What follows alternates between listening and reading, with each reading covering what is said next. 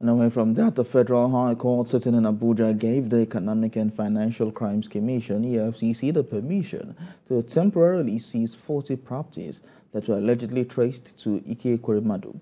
The trial judge ordered the anti-graft agency to publish the interim forfeiture order in a national daily within seven days from the date the order was given.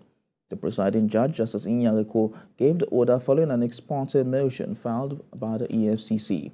The interim forfeiture uh, includes 10 properties in Enugu, three in the United States of America, two in the United Kingdom, one in Lagos, nine in Dubai, and 15 located in the Federal Capital Territory.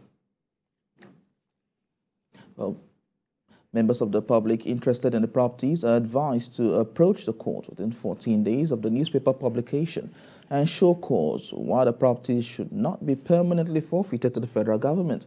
The case has been adjourned to the 5th of December.